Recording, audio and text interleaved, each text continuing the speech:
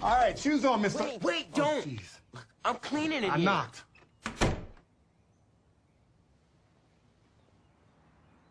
Kiddo, how we doing in there, buddy? I'm sorry I just barged in like that to your personal space. Shouldn't have. Can I come in for a second? Isaiah, is it okay if I come in? Yeah, Yes, then. Come in. yeah.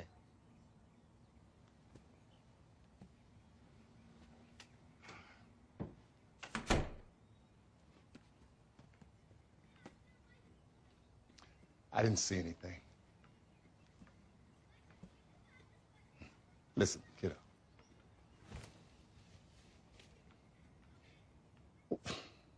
What you were just doing, which I had no right to interrupt without knocking, and I'm sorry.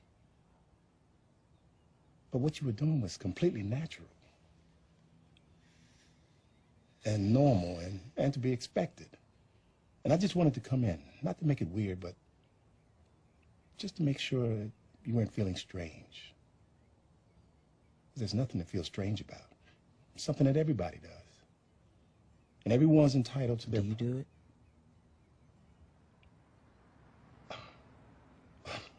Well, everybody does. So you do do it then. I mean, it's common, yeah. It's something that's natural to do for all people. And all people deserve to have their boundaries respected. And that's where I crossed the line. So, um, sorry if this is weird. But I just wanted to make sure you weren't feeling ugly and like, like this was ugly. And hide it under the rug and let it become something taboo between. You know what taboo is? Yes. well, now it won't be. Because we talked about it. And it's out in the open. Okay. I am sorry if this is weird. It's not. Oh, good. It shouldn't be. Well, I'll leave you to it then.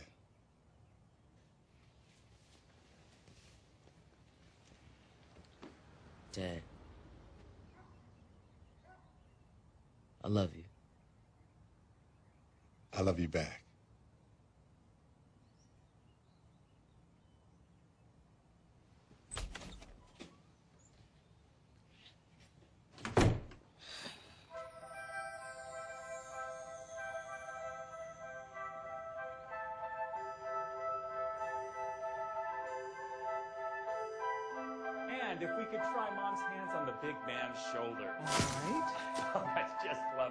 And if we could all just look straight ahead, please. Wonderful. And we're a happy little family with a great big smile. Fantastic. Uh, and how about a smile from Dad this time? Was I not smiling? Oh, were you? Uh, Oh, sorry, I thought I was. then let's, let's just have another big one, please. There we go. Lovely. Okay, looking good. And now if I could just get a big smile from the two happy families. Family. Sorry? Today we're one happy family. Got a little crowded all of a sudden. That's the way I like it. You seeing my cufflinks? Yeah, we can see those, no problem. You think? Because I could turn more toward the camera. Thanks for everything, Bob. Do we all say cheese? You say cheese, you say taco, you would say whatever you'd like, but if you could just give me the teeniest, weeniest, little... Hey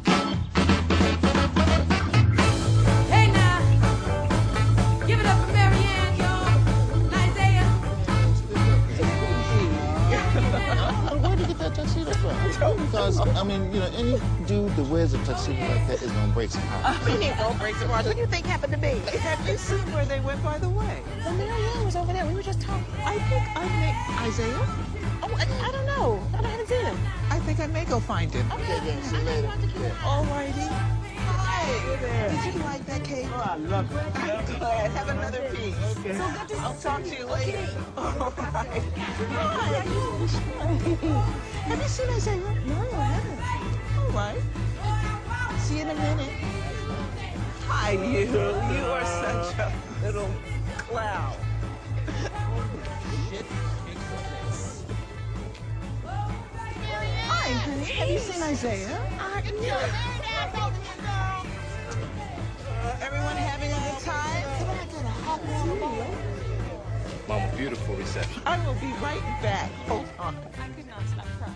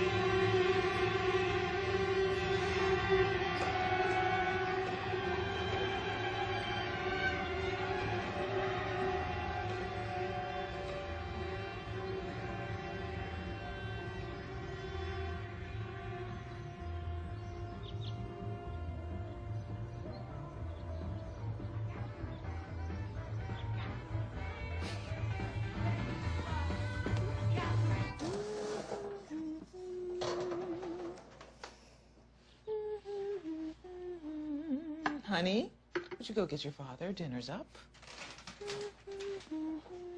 Shall I help set the table? Oh, that's okay. Everything's under control.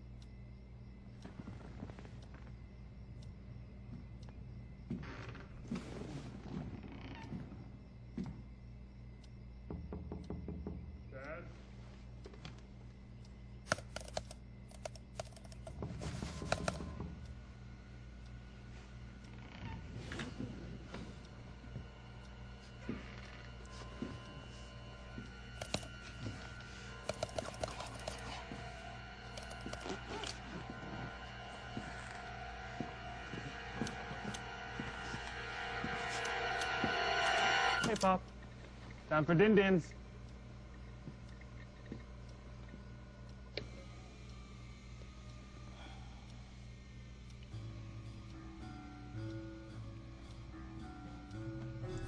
Here we go. It's hot. Mmm.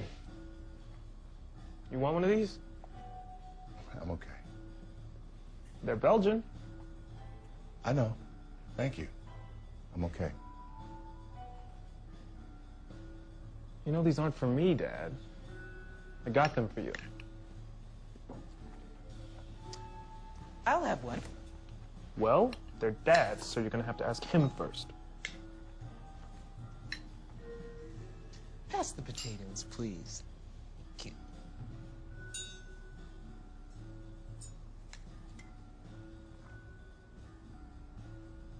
Would you like one? Oh, maybe later. Thank you, honey. Thank you.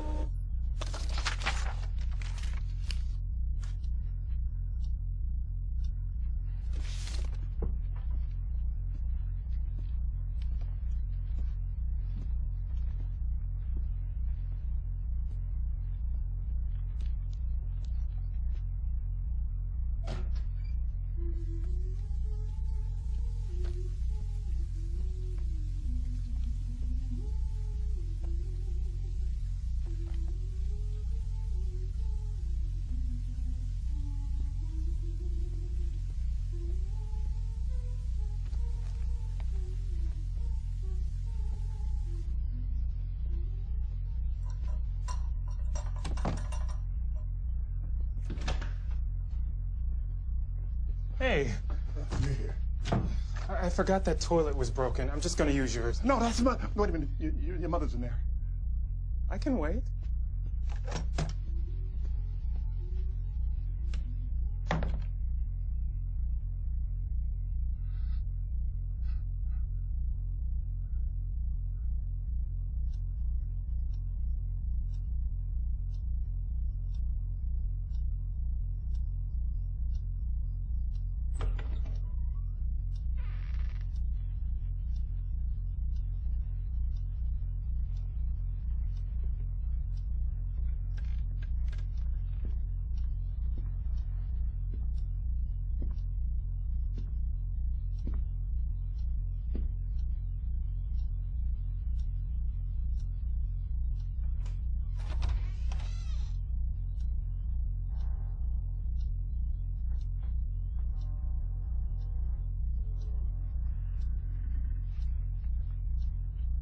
Don't look so scared.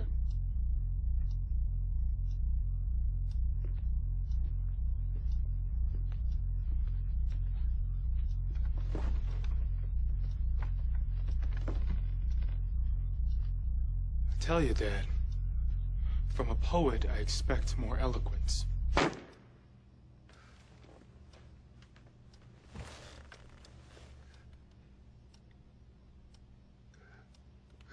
I'm sorry. What for? Hmm? For nothing? For what I wrote. What you wrote? You mean your little autobiography? All 300 pages of it?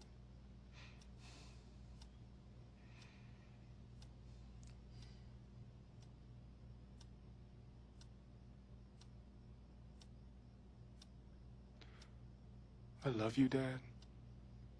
But this makes it hard.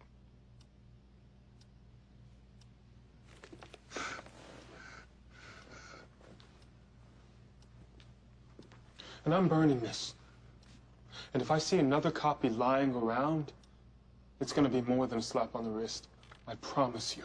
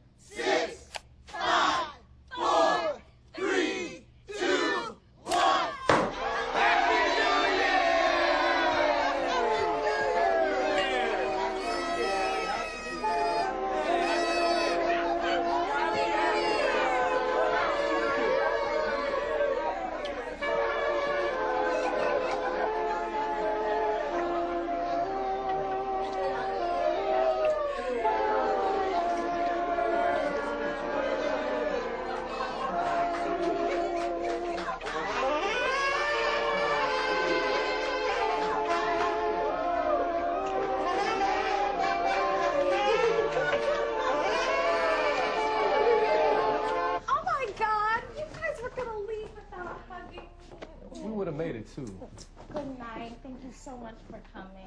Hey, next Tuesday. Next Tuesday. Thank you. Happy New Year.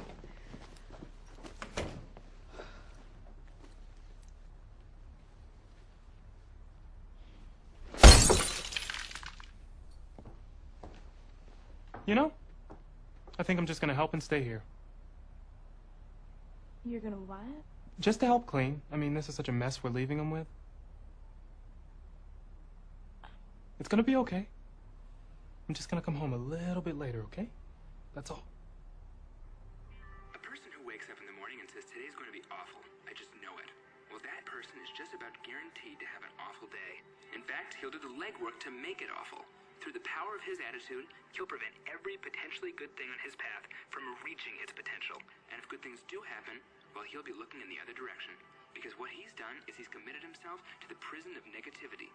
Now, on the other side of this coin, a person who wakes up and greets the day with enthusiasm and positivity will see the good things on his path. Because through the power of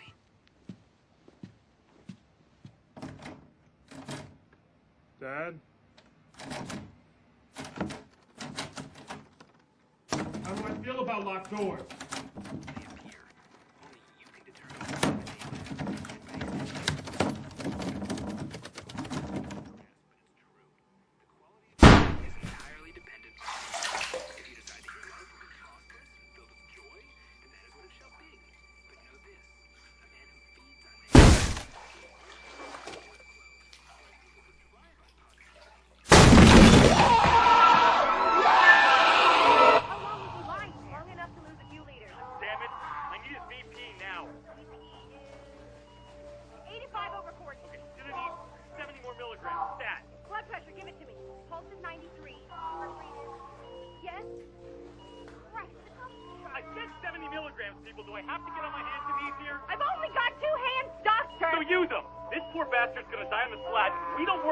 And fast. The right ventricle's dilated. Suction! Quick! Jesus, he needs oxygen. We're not oxygenating, Maggie. Resume recompression. Charge to 15.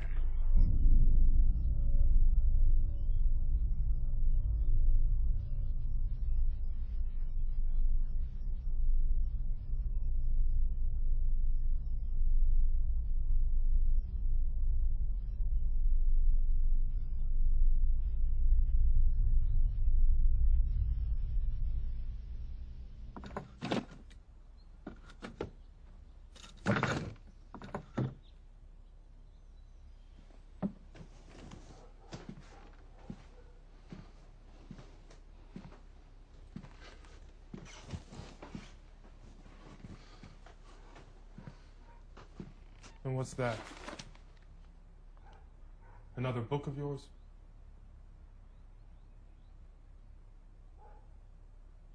Are you asking me to get upset? I'm not asking you anything. Well, I'm asking you. I'm just leaving.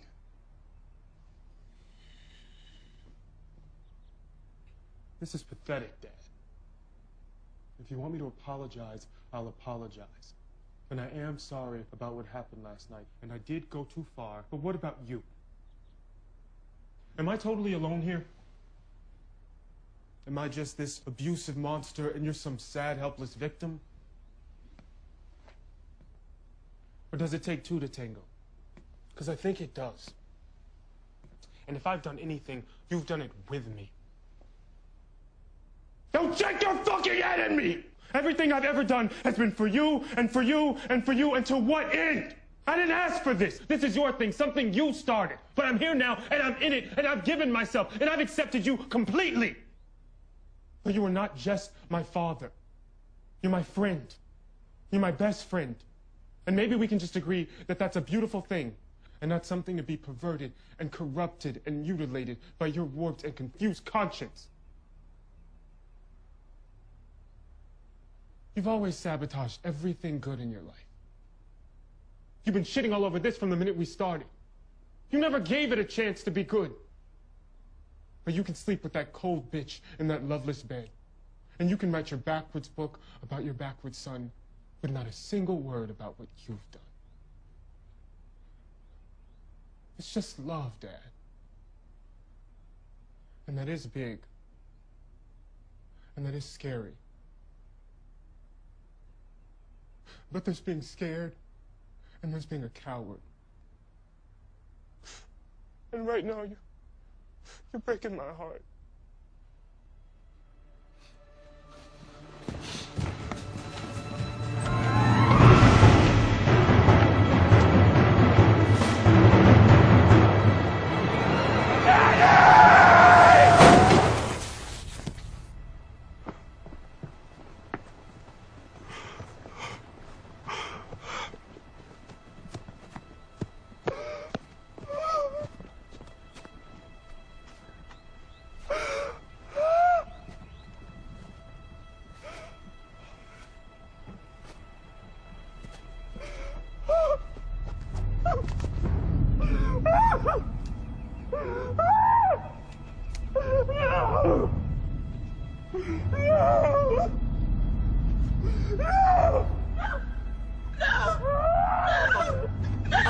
Don't touch him!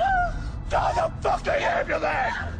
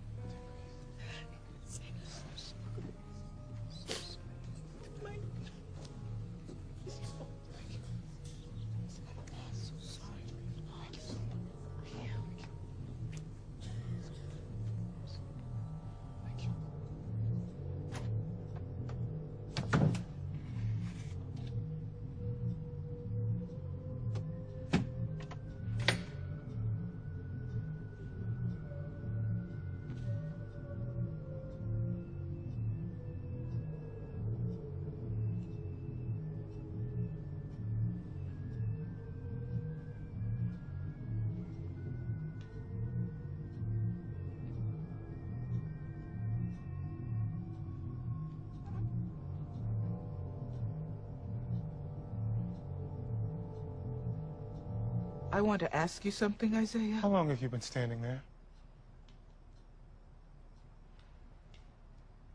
How are you holding up?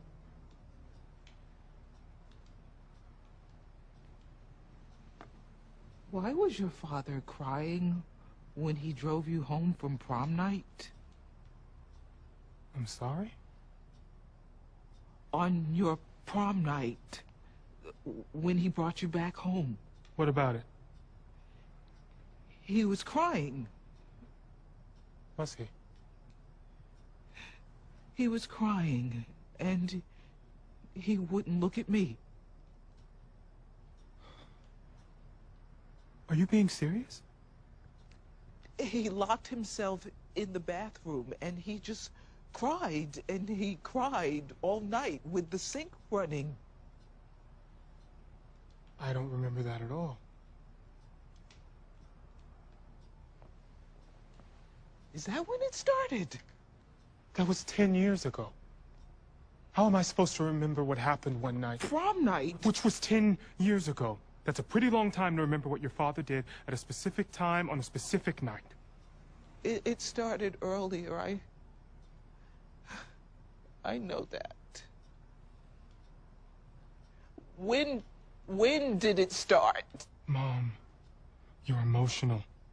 I'm emotional. We are not ourselves. It. You don't even know what you're trying to say. I know exactly what I am trying to say. Well, I don't. But I think it's pretty ugly what you seem to be saying, and I think you would agree if you could hear yourself. you monster. You killed your own father. How could you? What? Wait. Get off of me! I'm warning you, Mom. You don't warn me! I loved him better than you ever did. You sick! Ow! Sick! Ow! Sick! Sick!